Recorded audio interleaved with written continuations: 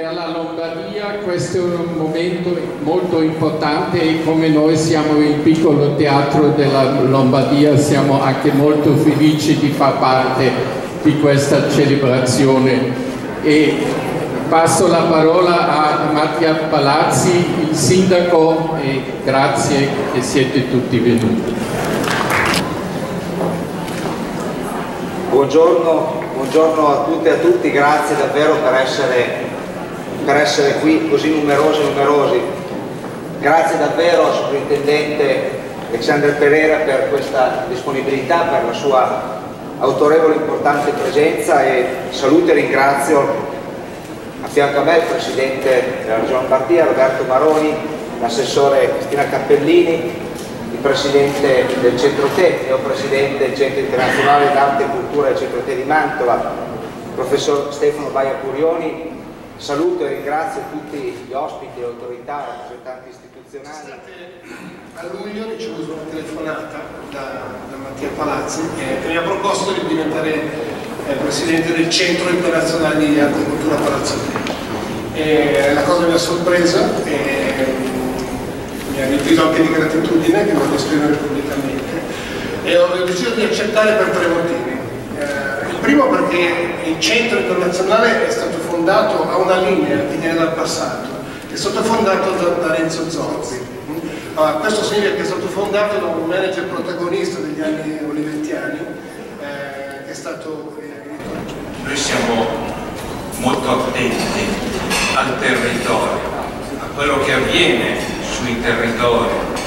Noi come Regione sosteniamo le iniziative concretamente e partecipiamo a queste iniziative. È stato citato il terremoto proprio nei giorni scorsi, io sono il commissario per il terremoto, abbiamo eh, destinato a Mantova altre risorse, 138 milioni. Credo che possiamo dire a tutti gli italiani, e non solo agli italiani, perché il rapporto con turisti stranieri è un rapporto importante che la nostra città vuole rafforzare questi mesi. E se volete stupirvi, se volete essere parte di una storia unica e grandiosa, se volete vivere un'esperienza davvero incredibile in un territorio, in un paesaggio formidabile, se volete mangiare da Dio, se volete sentire buona musica e davvero vivere eventi straordinari, non resta che dire venite a Mantova. Vediamo particolarmente il 7 e l'8 ottobre questo evento nazionale sui siti UNESCO, l'ha già detto. L'altro appuntamento a cui teniamo particolarmente è il 29 maggio. Il 29 maggio da tre anni è la festa della Lombardia, è stata, è stata definita dal Consiglio regionale e tutti gli anni il 29 maggio noi celebriamo questa festa con una serie di iniziative tra cui la consegna dei premi Rosa Camuna ai Lombardi che si sono distinti in tanti settori negli scorsi due anni l'abbiamo fatta a Milano la festa, quest'anno la faremo a Mantova, al Teatro Bibiena, un teatro straordinario.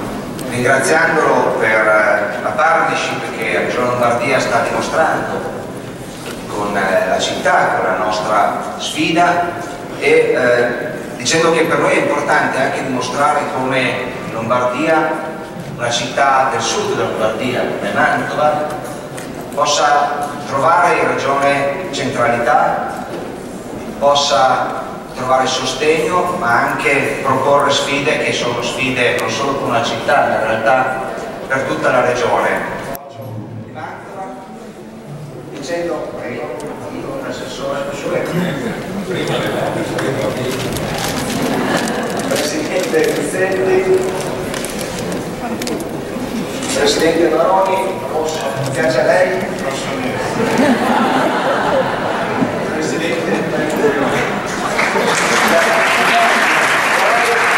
Vorrei anche dire che grazie al Ministero, Sviluppo Economico, al sottosegretario Giacomelli, alle poste italiane, nei prossimi mesi verrà anche mostrato e presenteremo a Mantova con una cerimonia eh, il francobollo di Mantova, capitale italiana della cultura 2016, un altro riconoscimento importante della nostra città e del lavoro che si sta facendo.